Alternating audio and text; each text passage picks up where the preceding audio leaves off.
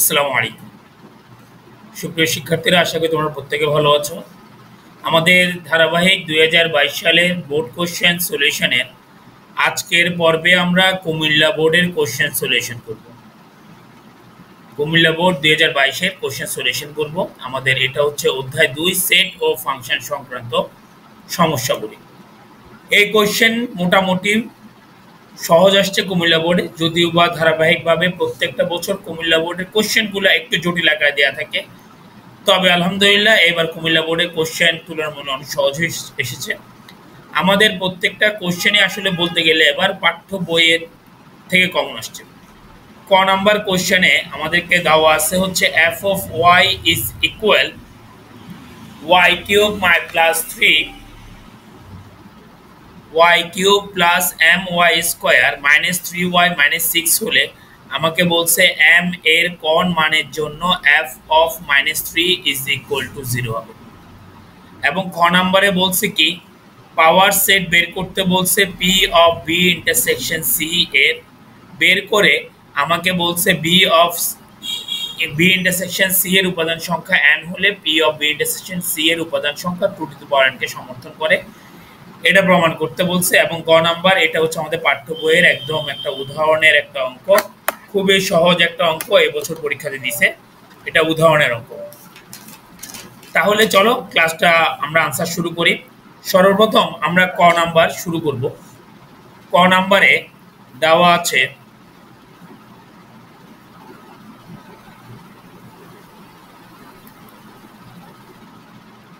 দেওয়া আছে F of Y is equal Y cube plus M Y square minus three Y minus six এটা আসলে Y এর একটা ফাংশন এটাকে বলা হয় ফাংশন অফ ওয়াই আমাকে এখানে ওয়াই এর ফাংশনটাকে মাইনাস থ্রি দ্বারা রিপ্লেসমেন্ট করতে বলছে। তার মানে আমাকে এখানে চলকের পরিবর্তন করতে বলছে মাইনাস থ্রি দ্যাট মিনস সুতরাং F of minus three is equal minus three whole cube plus M into minus three whole square minus three into minus three minus six যেহেতু মাইনাস আছে পাওয়ারটা হচ্ছে বেজোর তাহলে মাইনাসটা কি হয়ে যাবে? মাইনাস থেকে যাবে।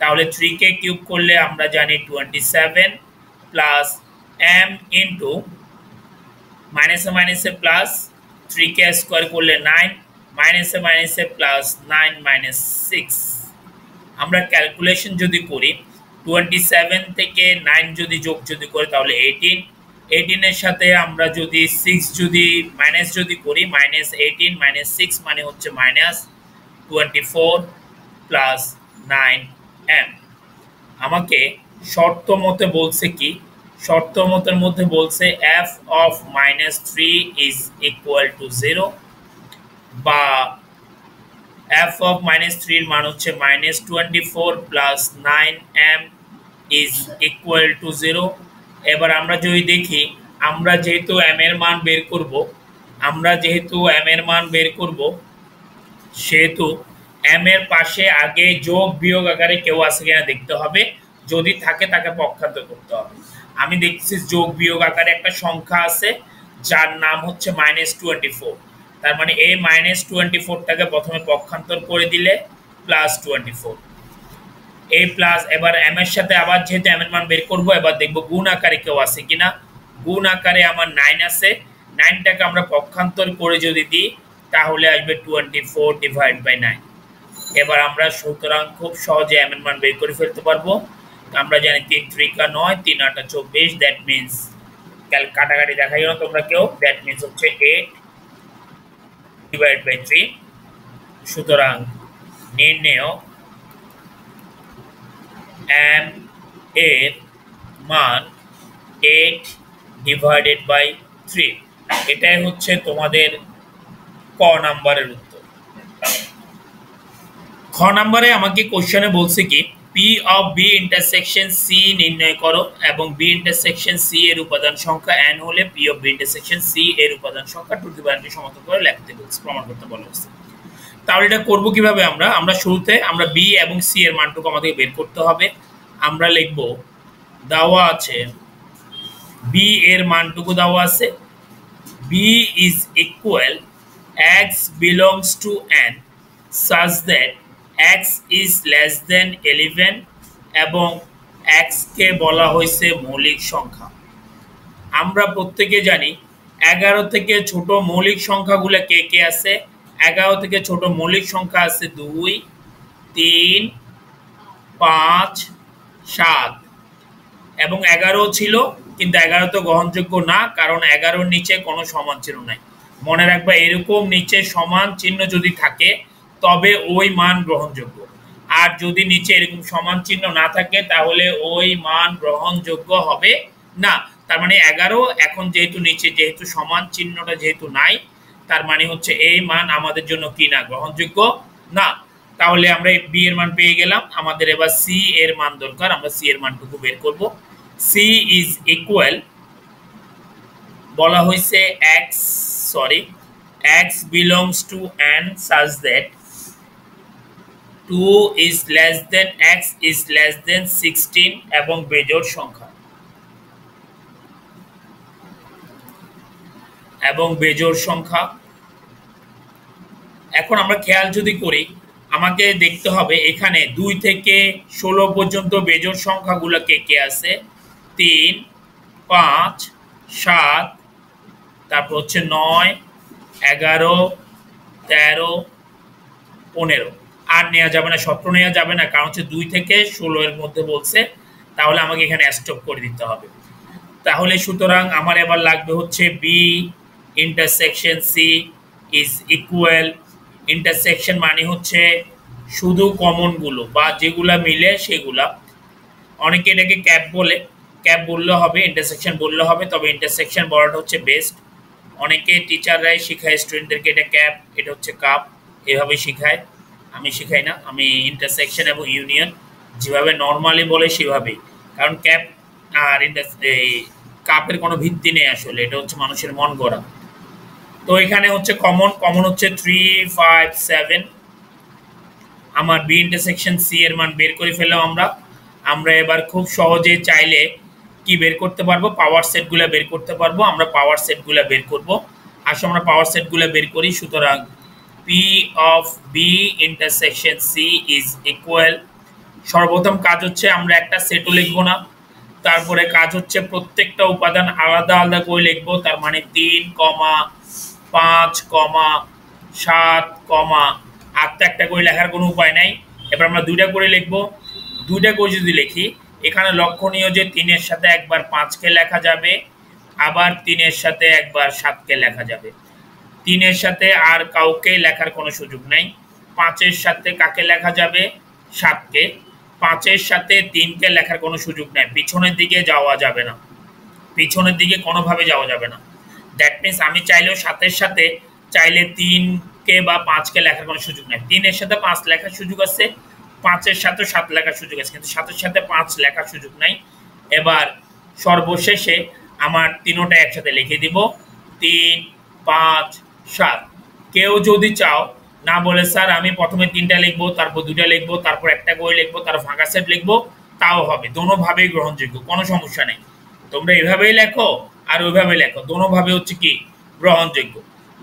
আমার বের করতে বলছিল পি অফ এত বের হয়ে গেছে। এবার আসো মোস্ট ইম্পর্টেন্ট একটা জিনিস, যেটা সাধারণত যেভাবে করতে হয়, সেটা হচ্ছে এখানে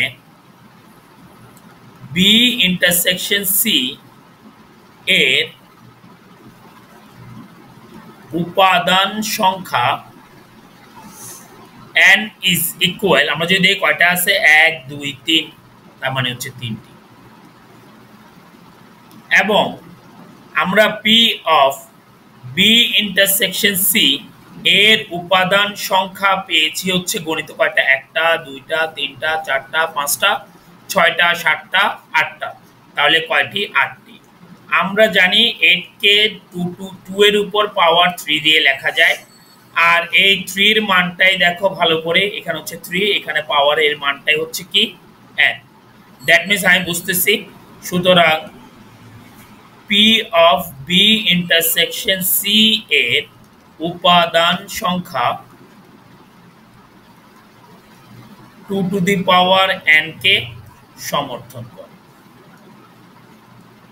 মোস্ট ইম্পর্টেন্ট কথা বলি, সেটা হচ্ছে অনেকেই আমরা যে কাজটা করি, অনেকেই আমরা একটা ভুল কাজ করি, সেটা হচ্ছে এখানে এই জায়গায় সমান two to the power n লিখি, সমান two to the power three লিখি, সমান এইট লিখি। এইভাবে না করার চেষ্টা করব, এইভাবে অনেকগুলো টিচারই কেটে দিবে, এবং কি বোর্ড থেকে যে ইনস্ট্রাকশন আসে, সেই ইনস্ট্রাকশনের মধ্যে এইভাবে করে দেওয়া নাই। বোর্ডের খাতা মূল্যায়ন করার জন্য যে ইনস্ট্রাকশন আসে সেখানে এভাবে মূল্যায়ন করার জন্য বলা হয়েছে। সেই ক্ষেত্রে কোনো টিচার যদি এভাবে কেটে যদি দেয়, তার জন্য তোমরা নিজেরাই দায়বদ্ধ। এটা ছিল আমাদের খ নাম্বারের উত্তর। এবার আমরা করব গ নাম্বার। সর্বশেষ অঙ্কটা হচ্ছে জি অফ এ এর অঙ্ক। আমার অনেক পছন্দের একটা অঙ্ক। এই অঙ্কটা সাধারণত আমাদের স্কুল পরীক্ষা বলি, যে কোনো ধরনের টেস্ট পরীক্ষা কিংবা কোনো জায়গায় আমি মডেল টেস্ট যদি নিই আমার কোচিংয়ে হোক, যেখানে হোক, সাধারণত এই কোশ্চেনটা আমি দিয়ে থাকি।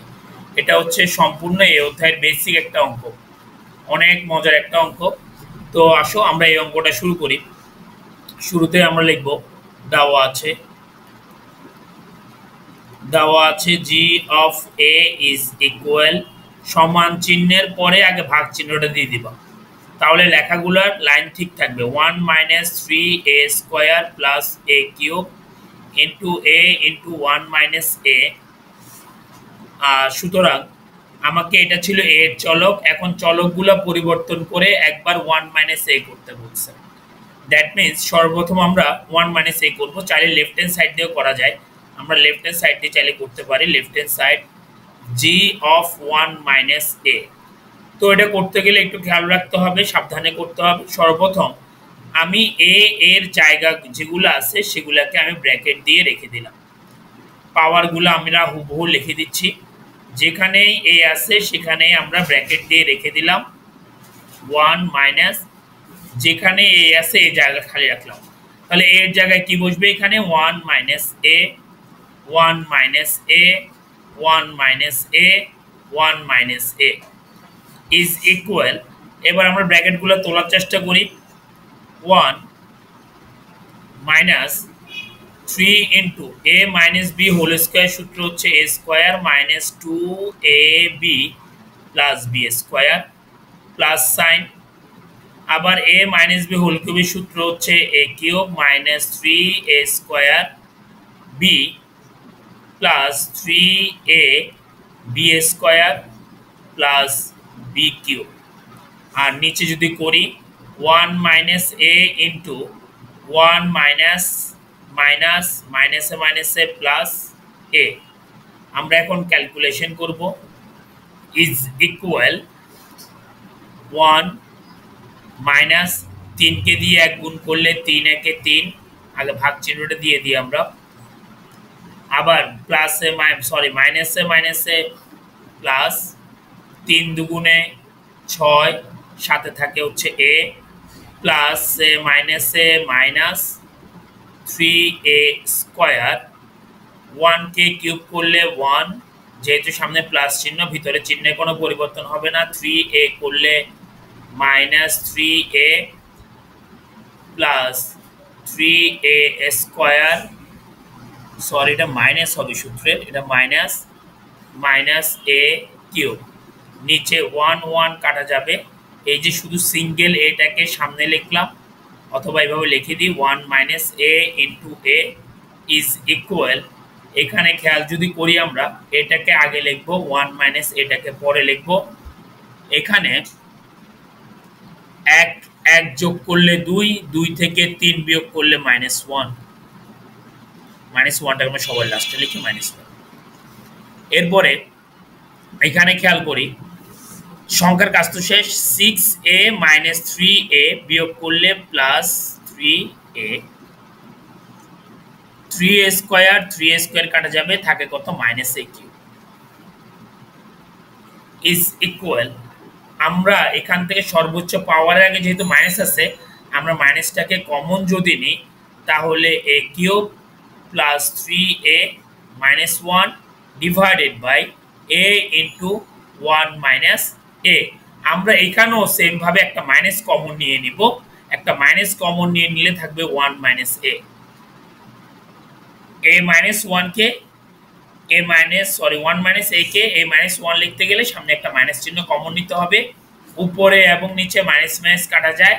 থাকে হচ্ছে A cube plus three A minus one divided by A into A minus one আমার লেফট হ্যান্ড সাইডে কাজ শেষ।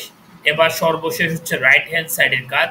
Right hand side is equal to G of A inverse one is equal G of one by A is equal আমরা এবার যেখানেই এ আছে, সেখানে বসাবো one by A that means one by A one minus one by A উপরে থাকতেছে one minus three A square মানে হচ্ছে one by A whole square plus one by A whole cube যেখানে এ ছিল, সেই সকল জায়গায় আমরা ওয়ান বাই এ বসেছি। যেখানে এ ছিল, সেখানে one by A is equal one by A into A হচ্ছে লসাগু, তাহলে থাকবে হচ্ছে এ এ গুণ করলে হচ্ছে এ স্কোয়ার সরি এ কে দিয়ে ওয়ান গুণ করলে এ মাইনাস হচ্ছে ওয়ান এখানে থাকে হচ্ছে one minus three divided by A square plus one divided by A cube is equal আমরা এখানে একটু খেয়াল যদি করি ইজ ইকুয়াল আমরা আবার এখানে যদি খেয়াল যদি করি এ এ গুণ করলে আসবে এ স্কোয়ার বড় ভাগ চিহ্নটাকে গুণ করব আমরা, বড় ভাগ চিহ্নটাকে গুণ যদি করি নিচের টুকু উপরে যাবে। তাহলে নিচে আছে কে কে? এ ইন্টু এ আর উপরের অংশটুকু নিচে নামবে। দ্যাট মিনস থাকে শুধু কত? এ মাইনাস ওয়ান নিচে এ কিউব এ স্কোয়ার এবং ওয়ানের লসাগু হচ্ছে এ কিউব এ কিউবকে দিয়ে ওয়ান গুণ করলে এ কিউব চিহ্ন হচ্ছে মাইনাস এ স্কোয়ারকে দিয়ে এ কিউবকে ভাগ যদি করি, থাকবে শুধু একটা এ আগে থেকে সংখ্যা ছিল হচ্ছে three plus A cube A cube মিলে গেলে মান হচ্ছে ওয়ান এখানে এ হচ্ছে দুইটা, এখানে হচ্ছে তিনটা কাটলে আর থাকবে হচ্ছে একটা। নিচে থাকে কি? এ মাইনাস ওয়ান উপরে এখানে খেয়াল যদি করি, A cube minus three A plus হচ্ছে ওয়ান দেখো, আমাদের লেফট হ্যান্ড সাইড এবং রাইট হ্যান্ড সাইড মিলে গেছে। লেফট হ্যান্ড সাইড এবং রাইট হ্যান্ড সাইড মিলে গেছে। সুতরাং একদম লাস্ট লাইন লিখে দিবা, সুতরাং left hand side is equal to right hand side এটাই হচ্ছে আমাদের কাঙ্ক্ষিত উত্তর। কাঙ্ক্ষিত প্রমাণ দেখাইতে বলছে, আমরা লিখে দিব দেখানো হবে।